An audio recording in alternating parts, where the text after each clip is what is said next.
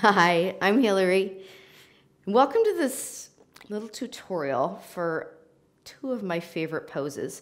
Um, one being Natarajasana dancer's pose and the other standing bow, which comes from a real traditional background of um, Bikram style hot yoga. Um, very often it's um, they are mixed up in class and I see that, but I'm not able to sort of guide uh, the difference between the two. Both are amazing, but this is going to give you an opportunity to experience the difference.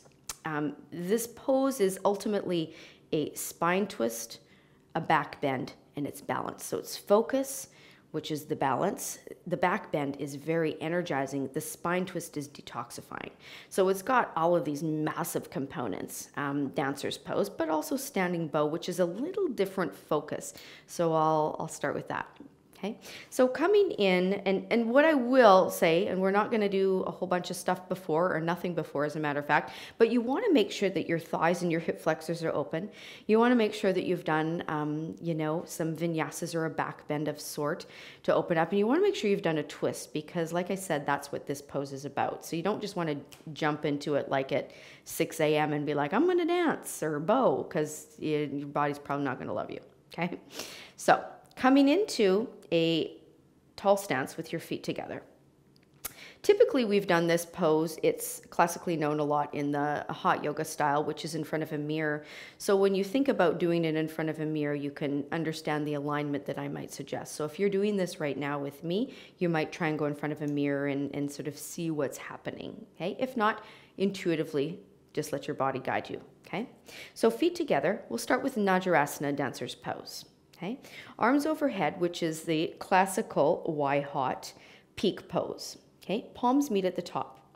Bringing your right elbow in at your right waist. I like to think of it as a little shelf. Dropping your palm down, bending your right knee, taking hold of your ankle from the inside. So right where the ankle bends, the middle fingertip is. That's where your best grip is. And then squeeze your thighs. The most common misalignment here is the palm drops down and then people turn and they take hold of the outside. Okay?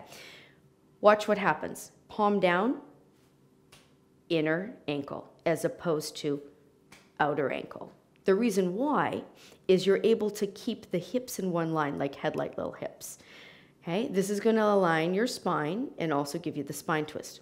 I like pointer finger and thumb, knowledge and wisdom with the left. Okay? Keep the left leg strong. You can even have a slight little micro bend to the knee if you need. Okay? Be mindful not to lock. You might have heard that word before. Don't lock the knee. You want a little bend. Okay? Stretch up, get tall. Guide your right hip bone forward and down. Let your right shoulder fall back. Okay? Stretching up and then start your kick. I call this like your little journey. So as you start to kick into your hand, keep guiding the right hip bone forward and down. Okay? Now, if there was a mirror in front of you, think of it as though your toe would be invisible behind you. Now, as you kick, this is your engine of the pose. The harder you kick, the easier the balance. Okay, keep guiding your right hip bone down. And then I love the mantra I can. I can balance. Okay, now as you kick, keep pushing the hip bone forward and take a breath. And then relaxing down. Okay, so in the good old days, we'd hold that for like a minute. Typically, you do this pose two times. The first one is about a minute, and then the next one is about half the time. Okay, but for this tutorial, it's more just about alignment. Another option that you can do, and you might have um, been in classes that um, your teacher has brought in the, the strap, or you might see other people doing it.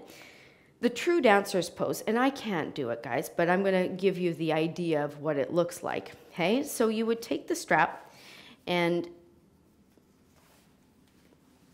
Place it in like a little hook, okay? Feet together, okay? And then same thing, you're starting to kick. And then your shoulder behind you as you lift up. Okay, so you're lifting up and then finding that spot to focus on. So it's like your toes coming up above your head. With the strap, you can keep kicking. The idea is, is in in full dancer's pose, you would take your ankle behind your head and then lift up into a full dancer's. Okay? So I just wanted to give that as a little option. The other thing, and you can do this in the next pose that I'm going to show as well, is if you want to really give yourself a balancing option is you can use a block. Okay? You could stand up on the block for your dancers. Okay? I know some of you that are watching this used to do this in class all the time, so the same thing would go. Arms above the head, right elbow into your right waist, drop your palm. Bend your knee, ankle inside. Hey, Stretch up, get tall, push your right hip bone forward, and then start your kick. Okay, so this is like just another layer of the onion of going a little bit deeper.